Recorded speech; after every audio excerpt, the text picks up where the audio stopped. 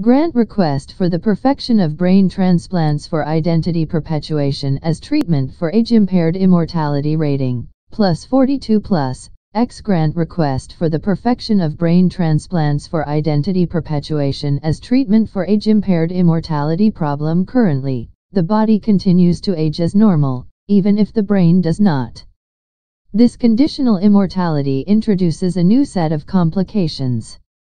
Consider the current rate of bodily degradation, unhindered by disease and environment. At 30, the mass of the human body begins to decrease at 50. Hair turns gray and pattern hair loss is experienced by 30% 50% of males, 25% of females. At 60, the incidence of osteoarthritis development spikes to 53% at 75, more than 50% of humans experience hearing loss as they lose their ability to regenerate cochlear sensory cells. At 80, more than half the population becomes in need of cataract surgery at 85. 25% of the population experiences a loss of muscle mass and mobility at and beyond this point, atherosclerosis becomes the leading cause of death worldwide. In the 1400s, when the average lifespan hovered at around 30 years, humans did not experience the entirety of the aforementioned process. Atherosclerosis is no longer the plateau and it is incorrect to assume that permanent atherosclerosis is the inevitable condition of humanity. The body is still fully capable of death. Once total organ failure, and the resultant growth of bacteria colonies becomes a universal aspect of life, it is more apt to say that live decomposition stands to be the inevitable, penultimate condition of humanity, followed by whatever sensations can be provided once the brain is all that remains. It is pertinent to state that this progression assumes perfect health on the individual's part and follows only the progression of time. Solution Brain Figure A1 The idea of brain transplants, also known as full body transplants, is not new. Figure A1 from Bettingselfam, 1604 AD. It has appeared frequently, and primarily, in science fiction, perhaps contributing to the assumption that the entire procedure is as viable as fantasy. This is not the case. An identity is formed by, and restricted to, the specific combination of unique neural pathways, myelin sheaths, and synapses found within an individual's brain. Beyond theory, this fact is proven. Robert J. White successfully transferred both the brain and the head of one monkey onto the body of another without any change in identity 1. His brain and head transplant experiments, complemented by further experimental DATA23, indicate that successfully transplanting a brain, and by extension an identity, into another body is viable and possible. However, White's experiments were not successful enough to bring the procedure out of the speculative realm.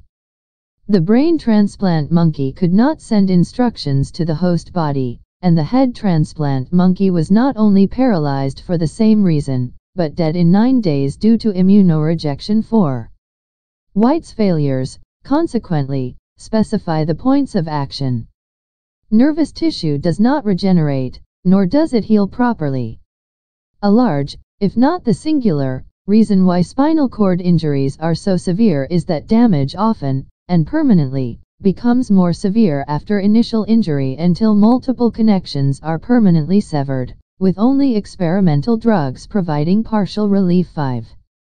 The result is full body paralysis and sensory deprivation. Therefore, developing regenerating neural tissue and slash or a treatment that will engender regeneration is required. We can approach this in two ways. The first is natural synthesis whereupon we modify pre-existing nervous tissue so that it can mimic the regenerative slash healing capabilities found in other tissues. The second option is synthetic synthesis, whereupon a new type of nervous tissue is developed that is both omnicompatible and regenerative. Natural synthesis, if successful, would lead to surgical personnel treating the tissue at the point of connection so that both brain and nervous system can heal into one another and, thus, communicate. Synthetic synthesis, if successful, would involve having lab-produced tissue serve as an effective medium between the implanted organ and the host system, leading to the same result. We must also overcome the issue that killed White's monkey, immunorejection.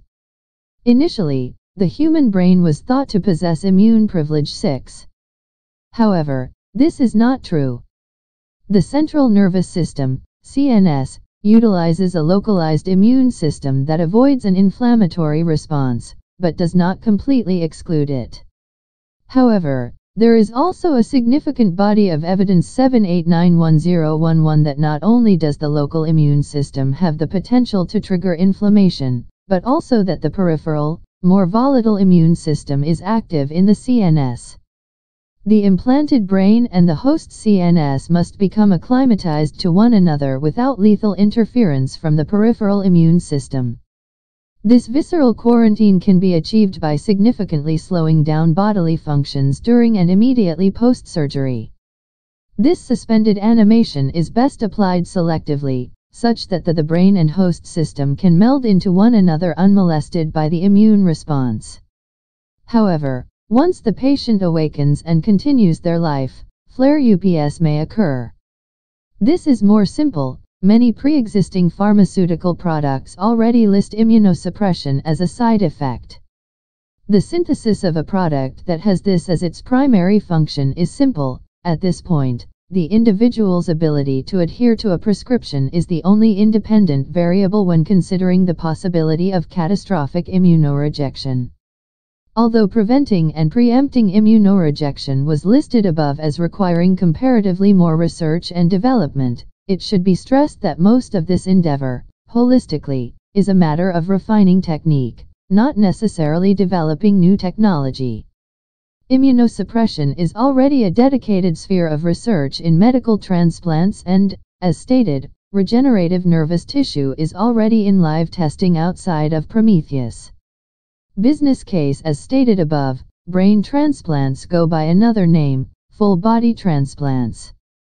This product, as such, can be distributed as both a commercial and medical procedure, just a reconstructive surgery is sold to both celebrities and war veterans.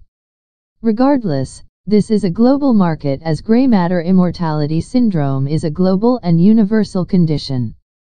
Numed figure B1 The target demographics for medical, Perfect brain transplants are the elderly and suffering, figure B1. These transplants serve as a de facto panacea for both the incurable diseases of the period and the now perpetual ravages of aging. As such, this procedure will be viable and appealing for the incapacitated, the incurable, and the elderly. The former two demographics are significantly smaller, as the number of individuals over 70 will always be in the hundreds of millions, but substantial nevertheless, the newborn and the adult are both vulnerable to spinal injuries and genetic cancers. As a medical service, this treatment would serve as a constant alternative to the treatments currently existing for serious diseases and conditions. Chemotherapy for a terminal cancer, for example, would be offered alongside a new, healthy body. Newcomb Figure B2 The target demographic for commercial, perfect brain transplants, Figure B2, is the wealthy and dissatisfied. Those with the resources to do so will pay to become more attractive, fit or somebody else. While most of these desires are the motivation behind those receiving the medical service, the healthy but dissatisfied would be willing to come in on their own volition, in mostly perfect health. As a commercial service, this would relegate the cosmetic surgery industry to a position of point changes. That is, only individuals attached to their current forms, only desiring to change a specific aspect about their appearance, nose, cheekbones, and willing to risk the side effects, would forego the new service. As such, there is some flexibility to pricing. As a medical service, the procedure can be priced as any ordinarily complex, but life-saving operation. It would benefit from medical insurance, be practiced by trained, civilian professionals and become more or less an integrated part of the healthcare industry. As a commercial service, the procedure can be priced as a luxury. New elements to differentiate the commercial from the medical service would have to be in place. However, this can simply be allowing the customer to specify exactly which type of body they wish to inhabit. Further price adjustments, if necessary or desired, can be implemented using a pricing system that varies depending on certain attributes, such as hair color, age, fitness, gender, and so on. While a surgical procedure cannot be exclusively owned or carried out, that is not to say Prometheus Labs is incapable of asserting a measure of ownership over both or one of the two variants of service should it choose to. As of right now, that would best be accomplished by seizing legal ownership rights over part of, or the entirety of, either the regenerative nervous tissue used, the treatment performed immediately post-surgery to prevent immunorejection, or both. Maximum profits cannot be expected by simultaneous deployment. The most profitable approach would be the deployment of the medical service first to both build up goodwill, establish a market foothold and intercept any bugs that can be safely buried beneath both experimental technology and the condition of the patient's brain. The commercial service is best deployed after any present glitches are intercepted and demand for an apparently non-existent service rises. Delaying the commercial service will also allow us to eliminate slash subsume any black market providers and their methods of operation, thereby saving time and bypassing the testing phase of operation. Use of funding graph figure C1, click to enlarge, as shown in figure 1. We estimate that perfecting the transplant will require approximately $16.2 million distributed unevenly over three essential pillars of focus.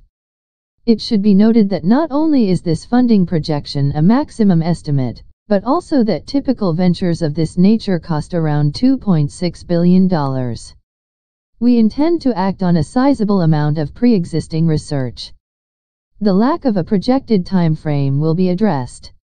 Regenerative nervous tissue synthesis, RNTS, the first pillar, must be achieved so that the implanted brain can interface with the host CNS and body.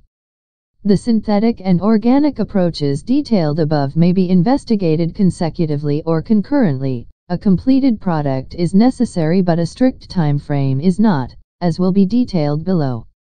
As RNTS is fundamentally concerned with developing a critical substance that is introduced to the patient, S, prior to operation, pharmacology serves as the best reference for funding.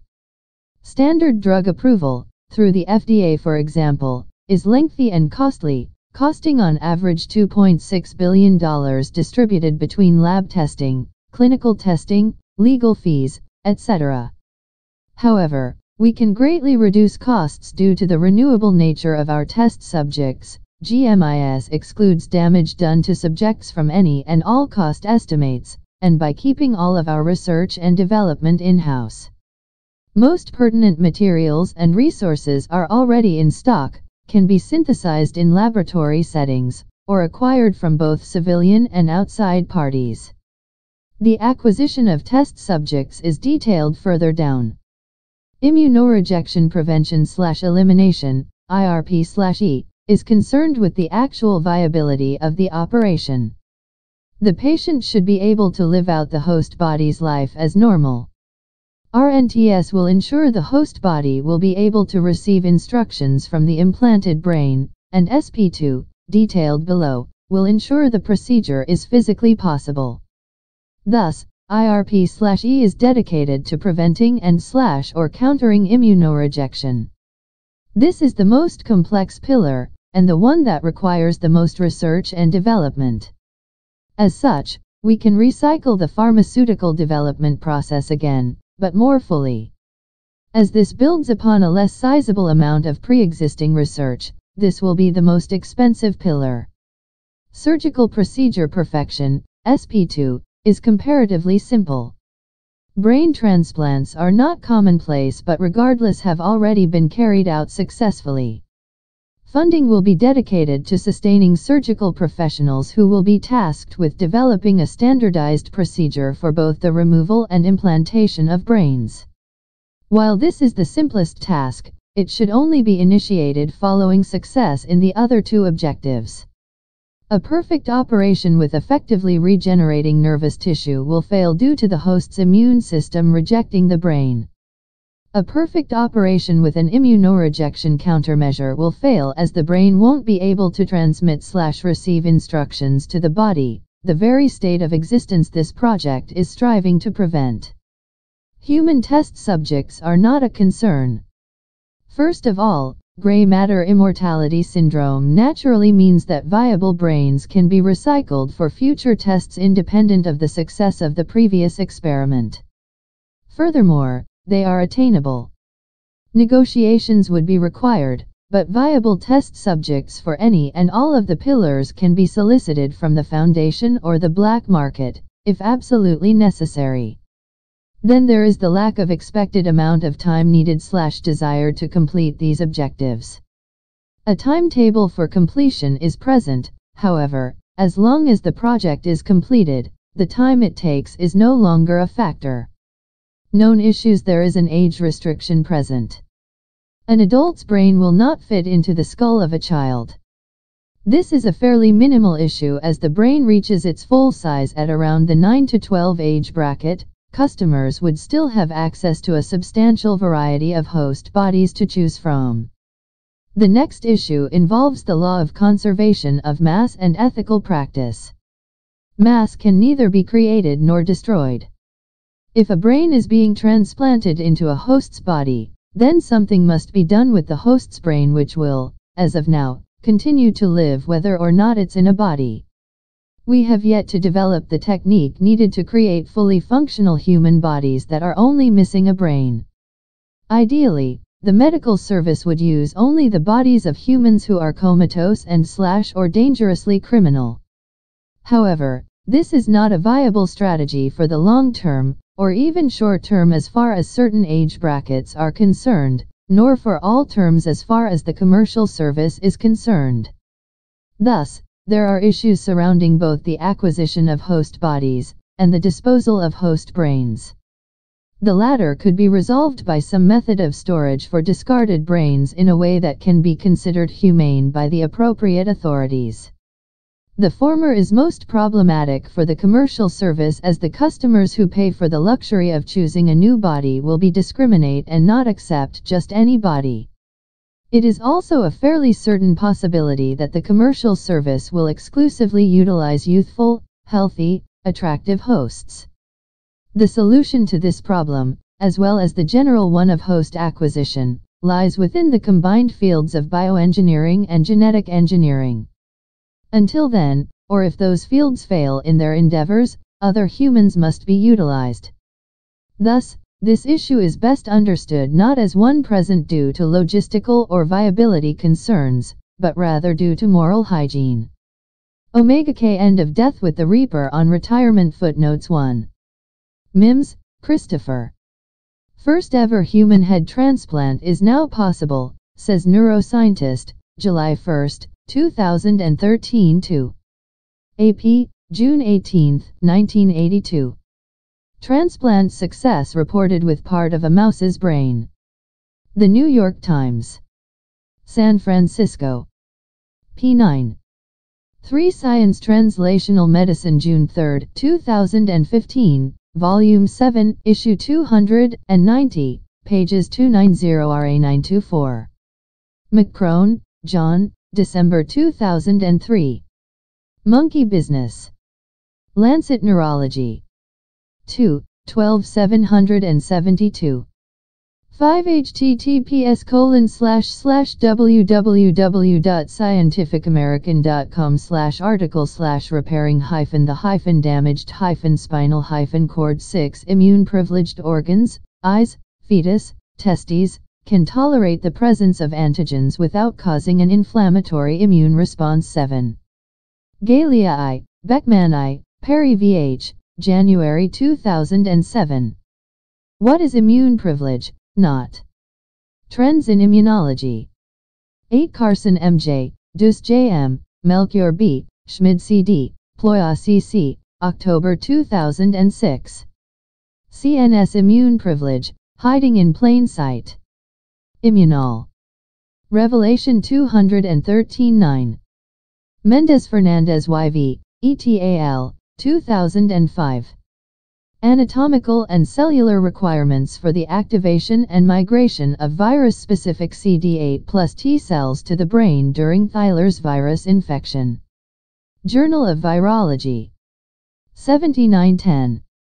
Hatterer, ETAL, 2006. How to drain without lymphatics. Dendritic cells migrate from the cerebrospinal fluid to the B-cell follicles of cervical lymph nodes. Blood. 10711. Wenkel H., ETAL, 2000. Systemic immune deviation in the CNS does not necessarily depend on the integrity of the blood-brain barrier. Journal of Immunology. 164. Grant